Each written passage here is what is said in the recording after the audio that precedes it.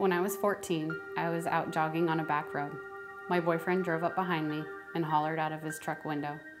He said, You better run faster than that or you're going to be fat. From that day forward, I became bulimic. I was determined to stay under 104 pounds. From there, it was a downward spiral. Bulimia is a lonely addiction, so I turned to alcohol just to socialize. After a few years of partying, I became pregnant. During my pregnancy, I was able to stop drinking but my addiction to bulimia continued to control my life. Once Carly, my daughter, was born, I immediately went back to drinking. Carly was born healthy, but at the age of two, she developed ulcerative colitis. Even her illness couldn't stop me from drinking. At the age of four, Carly passed away from her health complications.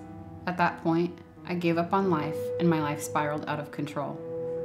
I lost my house, I lost my job, when the liquor store was closed, I would drink rubbing alcohol and hand sanitizer to avoid the seizures that I would get from alcohol withdrawals. I had multiple DUIs. I would wake up in random places.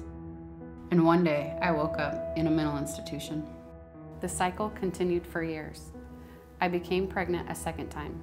Again, I was able to stop drinking, but I continued to throw up the entire pregnancy.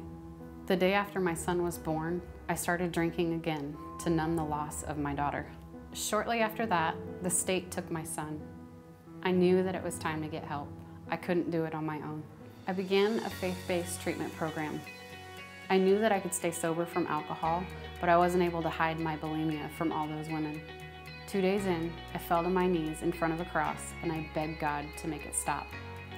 I gave him my life. I surrendered everything to Him, and He instantly delivered me from my addictions. Psalms 103:12 says, God casts my rebellious acts as far as the east is from the west.